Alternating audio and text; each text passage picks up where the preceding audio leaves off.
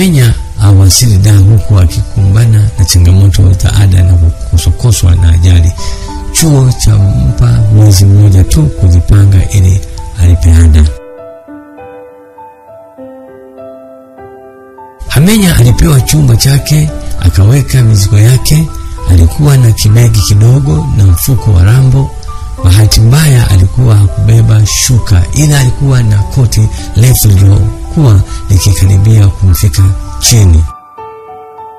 Kwa wakati huo alikuwa bado yuko mwenyewe chumbani, ingawa chumba kile kilihitaji kuishi watu wawili. Alikaa chumbani, akachukua begi, akafungua na kuchukua ile mwani aliyokuwa amepewa na mkuu wa makazi, ambapo aliambiwa atapewa udhamini wa masomo yake kupitia shirika la wakimbizi, yani TCRS.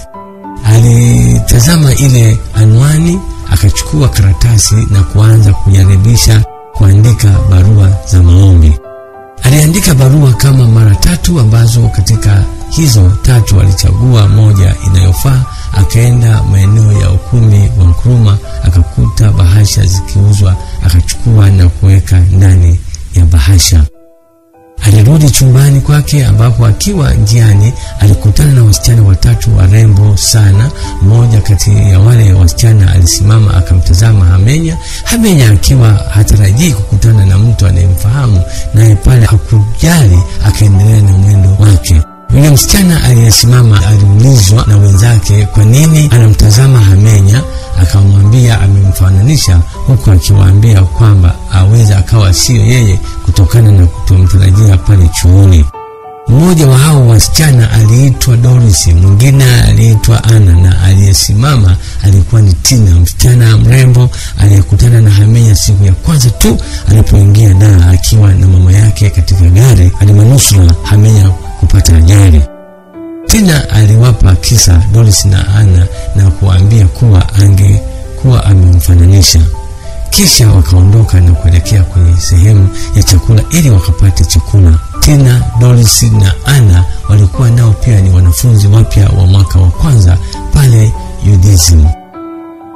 Wote walikuwa wamepangiwa kozi moja ya biashara, Bachelor of Commerce. Waliondoka na kuelekea sehemu ya chakula cafeteria, ambapo waliketi wakaagiza chakula wakaanza kula. Wakati wakiendelea kula, Tina alimwona tena Hamenya akiwa anaongea na mhudumu. Alipomwona aliacha kula akamtazama kwa dakika chache. Tina alikuwa amekaa katikati ya Doris na Anna kwa pamoja wote wakamgusa huku wakisema kwa pamoja, wewe vipi? Tina akashtuka akamtazama Doris, halafu akamgeukia Ana na kuambia, yule kaka ndiye yeye niliyekuwa nawaambia habari zake.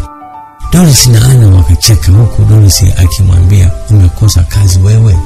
Tina akacheka halafu akawaambia ngoja nikikutana naye uso kwa uso nitamuuliza. Hamenya alikuwa ni mvulana mrefu mweusi na mwenye mwili wa wastani. Alikuwa na mwanya wa chini, nadhifu na mwenye usafi wa mwili na nguo, ingawa alikuwa na nguo tano tu suruali mbili na shati tatu. Hamenya alionekana akiongea na mhudumu pasipo kujua aliongea naye nini. Aliondoka. tena, aliendelea kula, lakini kila wakati alitazama upande aliokuwa amesimama Hamenya. Baada ya Hamenya kuondoka, Tina alikaa akawa kawaida na kuendelea kula vizuri. Hamenya alikuwa hajamtambua Tina na wala hakutarajia kama angekutana na Tina katika mazingira ya chuo. Alikuwa hana wazo lolote zaidi ya kufikiria jinsi gani angepata fedha ya kukidhi mahitaji yake ya chuo. Alitoka pale mgahawa wa chuo, akatoka nje, akakutana na mwanafunzi mwenzake, akamuuliza magari ya kwenda Mikocheni yanapatikana wapi, ambapo aliambiwa apande magari ya kwenda Mwenge kisha ashuke Mwenge mwisho, halafu atembee kwa miguu kuelekea Mikocheni. Hamenya aliuliza sio mbali? Akajibiwa inategemea unakwenda Mikocheni ipi, kuna A na B. B sio mbali, ila A ni mbali. Bahati mbaya Hamenya alikuwa hakuambiwa kama sayansi wako Mikocheni A au B. Kwa hiyo alishindwa kutoa jibu, na yule aliyekuwa akimwelekeza akawa ameondoka. Alipogeuka nyuma, alimwona kijana mwingine, akamsalimia, akamuuliza, samani naomba kujua ofisi za TSLS ziko wapi? Akaambiwa nenda Mikocheni A, panda magari mpaka Mwenge, halafu ukifika Mwenge kwenda Posta au Kariakoo kupitia Ali Hassan Mwinyi, kisha shuka Victoria. Kuanzia hapo utauliza watu watakaokuelekeza. Hamenya akashukuru, halafu akaenda kontena kupanda gari. Tina, Doris na Ana waliondoka wakielekea maeneo ya utawala ambapo walikuwa wanakamilisha taratibu za kujiunga na chuo. Wakati akipanda ngazi kuelekea ofisini kwa msajili, lecturer mmoja aitwaye Lucas alimwona Tina ambaye alikuwa akipishana naye kwenye ngazi za kuingia ofisini. Lecturer huyo alimsemesha Tina, wewe mrembo, hujambo? Kwa kuwa walikuwa watatu, wote hawakujua nani alikuwa anaitwa. Tina akauliza nani? Lecturer akamwambia ndio wewe, njoo. Tina alikuwa ameshafika ngazi ya mwisho, akashuka akaenda kumsikiliza. Aliulizwa, wewe ni undergraduate? Tina akamjibu ndiyo. Akauliza tena, mwaka wa ngapi? Tina akamwambia ndio nafanya process ya kuanza first year. Lecturer akamwambia naitwa Sir Lucas, ni lecturer hapo chuo kikuu.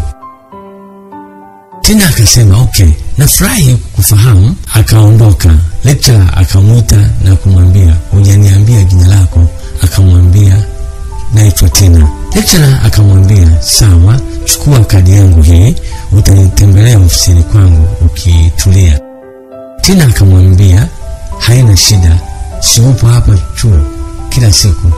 Lecturer akajibu ndio. Tina akamwambia basi hifadhi kadi yako, wala usijali, tutaonana tu. Lecturer akamtazama Tina kisha akasema okay.